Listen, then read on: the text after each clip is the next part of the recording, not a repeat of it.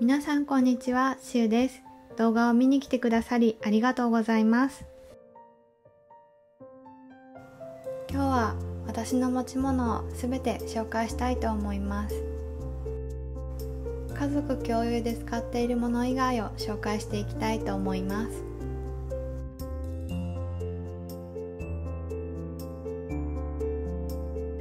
1お出かけグッズとアクセサリー以前にコメントでお財布を見てみたいですということでリクエストをいただいておりました。この機会に紹介したいと思います。2つお財布を持っています。1つは iPhone を変えるタイミングで財布機能がついたものを購入しました。カードお札小銭入れが別々についています。スマホが着脱できるところも気に入っています。もう一つは手のひらに収まる小さなお財布です。キャッシュレスで生活するようになっていた時に見つけました。クレジットカードの他に免許証 T カード予備のお札や小銭を入れられます。このサイズ感が気に入っています。2スキンケア。毎日使うスキンケアはお気に入りの容器に入れたくて詰め替えました。クレンジング用のココナッツオイルと保湿用のワセリンです。引き出しにちょうど収まるサイズを探していたのでとても使いやすいです。3食器とカトラリー。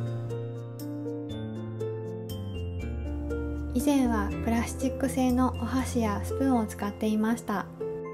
木のお箸やスプーンは温かみがあって食卓に置くとそれだけで可愛いので愛用して使っています。4タオルと肌着。鉄麦糸という手で紡いで作られた柔らかいタオルです。増久染織研究所というところで売られている洗顔クロスです。洗顔料なしで優しく汚れを落としてくれるので気に入って使っています。5思い出品と趣味のもの。タコ糸タオルというものを教えていただいてからタコ糸タオルを編むということが趣味に加わりました。洗剤なしで食器が洗えるそうです。7筆記用具とスマホ関連。筆記用具などは使わずに予定などは iPhone のカレンダーに書き込んでいましたが iPhone のカレンダーを見忘れてしまうことが多く改めてノートにつけることにしました。8洋服と靴帽子など。サンダルとパンプスの2足を持っていましたが去年から愛用して履いていたサンダルの履き心地が悪くなってしまったのとサンダル焼けが気になり無印良品で撥水加工のスニーカーを購入しました。履いて出かけるのが楽しみです。いかがだったでしょうか？ここでは紹介できませんでしたが寝具やハンガーなども含めると全部で136個ほどのものを所有していました。全て並べてみると改めて物の多さに気づかされました。持ちすぎず管理しやすいことを心がけていきたいなと思いました。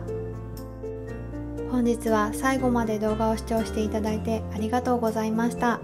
また違う動画でもお会いできたらなと思いますそれでは失礼いたしますこのチャンネルでは、すっきり部屋を保つ工夫や、小さい子やミニマリストに興味のない家族がいる人や、ミニマリズムについて女性、主婦、子育て中の観点からお話ししています。